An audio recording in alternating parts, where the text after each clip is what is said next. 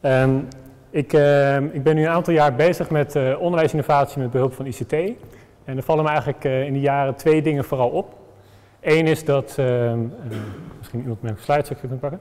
Eén is dat er ongelooflijk veel goede expertise en interessante innovaties gebeuren bij allerlei docenten. Er is eigenlijk heel veel kennis die er ontstaan is door allerlei docenten die intrinsiek gemotiveerd zijn om dingen beter te maken. En het tweede wat me opvalt is dat ze dat heel vaak niet van elkaar weten. Soms in een andere faculteit, soms een ander gebouw, maar soms ook twee deuren verder in dezelfde gang is een docent bezig om precies hetzelfde uit te vinden wat zijn collega een week eerder had uitgevonden. En hoe komt dat nou? Waarom kunnen we die, die kennis van al die mensen nou niet bij elkaar krijgen? En zou het niet mooi zijn als we dat wel voor elkaar zouden kunnen krijgen? En met die gedachte zijn we eigenlijk bij eh, de Universiteit van Amsterdam en inmiddels ook bij, bij Perceptum, maar het is ooit uh, bij de buitenfaculteit van de Universiteit van Amsterdam ontstaan zijn we begonnen om na te denken over hoe je nou zo'n kennisdeelplatform zou kunnen hebben, waarbij je juist de kennis vanuit verschillende gemeenschappen kan, kan delen. En een van de dingen waar je tegenaan loopt, is dat er verschillende gebruikers zijn. Een docent die misschien al heel veel weet van digitalisering, die misschien al regelmatig stemkastjes gebruikt, die wil weten wat de nieuwste best practice is op het gebied van stemkastjes, of welke nieuwe tool er ook weer is. Maar iemand anders is misschien gewoon op zoek naar een actievere manier voor zijn hoorcollege, uh, uh, omdat hij te veel mensen heeft en daar interactiviteit in mist. En je zou eigenlijk willen dat beide bij hetzelfde systeem zouden kunnen uitkomen. Zo. Um, en het systeem wat daarvoor uh, uh, eigenlijk de huidige tussenstap in is, is, is Starfish. En Starfish is bedoeld om, um, zo, om, om blokjes informatie die we hebben, met name niet op één enkele manier in te delen, zoals je vaak in, in, in bestaande systemen ook al hebt, of bestaande websites, die heel mooi die kennis proberen over te dragen. Eh, die hebben vaak een mooie categorisatie, een subcategorisatie. Maar juist op verschillende aspecten, de technologische kanten, de pedagogische kanten, zodat iemand die vanuit een ander uh, perspectief komt, dezelfde kennis zou kunnen vinden. Oké. Okay. Um, en uh, tegelijkertijd zo'n zo'n brokje kennis ook juist weer met elkaar te, kunnen, te kunnen koppelen. Ik praat gewoon door, dat komt, komt er zelf allemaal wel weer op het beeld. Um, sowieso ook hoe je, hoe je met zo'n beamer en dergelijke omgaat. Het is altijd mooi als je dat in een, in, een, in een best practice terug kan lezen. Wat we heel erg zien is dat die bestaande websites dus eigenlijk door te veel categorisatie hebben vaak niet toegankelijk zijn voor docenten. Die weten niet wat bring your own device is. Die zijn gewoon op zoek naar wat ze met een tablet kunnen doen. Of misschien wel gewoon überhaupt mensen in het veld uh, uh, met digitalisering om te laten gaan. Dus je wil eigenlijk een systeem waarbij je kennis op verschillende manieren kan vinden. En je wil een systeem waarbij één brokje kennis je weer kan leiden naar andere brokjes kennis. Misschien dat iemand bijvoorbeeld op zoek is naar hoe je een bepaalde setting in Blackboard moet doen. En vervolgens erachter komt dat iemand met datzelfde Blackboard systeem uh, uh, allerlei videolectures heeft kunnen doen. En een hele andere pedagogische aanpak heeft kunnen uh, gebruiken in, in zijn les. Um, en wie weet dat je via dat brokje kennis juist alweer erachter komt dat die collega twee deuren verder daarmee bezig is. Een van de dingen waar we ook heel erg voor proberen te doen binnen Starfish, is niet alleen maar om kennis met mensen te verbinden, maar juist ook mensen met mensen. Want uiteindelijk is het veel interessanter om die collega uh, die dat toevallig al uitgezocht heeft, om daar een kopje koffie mee te drinken, om te kijken hoe hij dat toegepast heeft, dan alleen maar om dat filmpje of die ene handleiding te kunnen lezen over iemand die dat, uh, die dat ooit opgeschreven heeft. Nou, al die blokjes kennis, die, die vormen eigenlijk een soort van, uh, soort van netwerkje, alles is weer met elkaar verbonden. En wat je eigenlijk zou, zou, zou willen doen, is dat, dat elk brokje kennis wat we met z'n allen aan het verzamelen zijn, in allerlei universiteiten, in hogescholen, en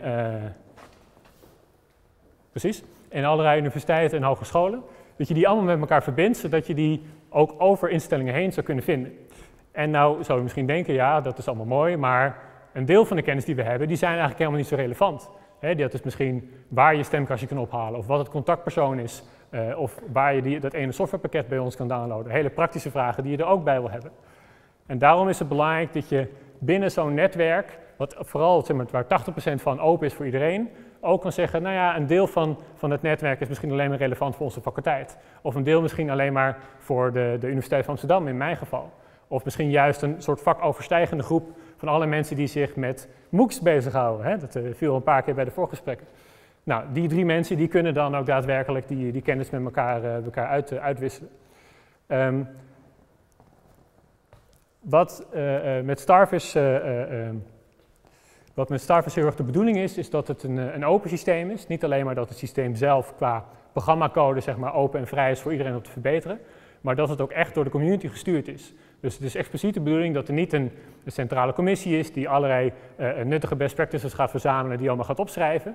Maar juist dat docenten, juist dat misschien studenten, juist dat projectleiders die interessante dingen doen of onderzoekers, dat die die content plaatsen en dat die content met elkaar verbonden wordt, doordat ze zeggen dit heeft met dat te maken of iemand ziet een verband ertussen en legt een link.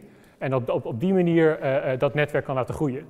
En er komen interessante uitdagingen bij. Hoe vind je die dingen dan? Hoe kan je dan met die kwaliteit omgaan? En dat zijn dan dingen waar we nu heel erg mee bezig zijn. Maar dat van bottom-up die kwaliteit, uh, die bottom-up die informatie toevoegen, is denk ik een essentieel verschil met wat we vaak in systemen tot nu toe doen, wat misschien een wat meer een bibliotheek aanpak is, waarbij we zeggen dit is de kennis en dat hebben we zodanig geïndexeerd. Nou, we hebben, behalve dat we dit als soort van idee en ambitie hebben uitgesproken dat we hier meer mee willen doen, en veel instellingen uh, daar gehoor aan geven dat ze dat eigenlijk met dezelfde dingen tegenaan lopen. We hebben ook al een eerste versie gemaakt. Die is inmiddels ook gelanceerd op de beta-faculteit bij de Universiteit van Amsterdam. Um, uh, andere faculteiten en ook andere instellingen zijn aan het kijken of ze zich daarbij kunnen aansluiten. En um, zoals dat dan zou bijvoorbeeld zou gaan, is dat ik ben misschien op zoek naar hoe ik betere toetsing kan doen. En ik kan gewoon een, een, een, een reeks van, van trefwoorden intoetsen. Uh, u ziet hier dat hashtag assessment, er allerlei syntax is die je zou kunnen gebruiken om sneller te zoeken. Maar als ik dat allemaal niet weet, typ ik gewoon wat woorden in en dan maakt het systeem er zelf wat van. En vervolgens, nadat ik dan bijvoorbeeld op assessment heb gezocht, krijg ik een reeks van type ja, blokjes kennis, zo je wil. Niet alleen die goose practices, waar het allemaal mee begonnen is, maar juist ook projectuitslagen die uh, vaak in een la verdwenen en we moeilijk weer terug konden vinden of kunnen koppelen. Die opeens weer boven komen drijven van hé, hey, daar is ooit een project mee gedaan, dat kan ik misschien gebruiken.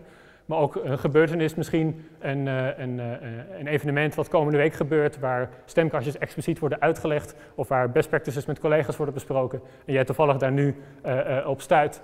En uh, vooral ook, uh, en we hebben dat nu glossaries genoemd en misschien moet dat een andere naam krijgen, maar vooral ook een manier om de vraag te beantwoorden, oké, learning analytics, wat, wat is dat dan? Ik hoor daar steeds wat over. Kan iemand dat nou niet gewoon in twee alinea's uitleggen en vervolgens dan weer kijken wie, wie daarmee aan de haal is? En zoals ik net al zei, op het moment dat je dan uh, bij zo'n bij zo'n stukje uitkomt, dit is bijvoorbeeld van een project rondom stemkastjes, dat al, al die stukjes, al die brokjes, of het nou personen zijn of projecten of best practices, dat die allemaal weer gecategoriseerd zijn. Je kunt het wat minder goed zien.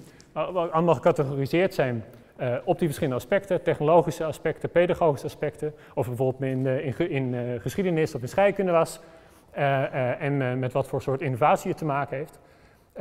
ingedeeld, zodat je daar vervolgens ook weer andere dingen kan vinden.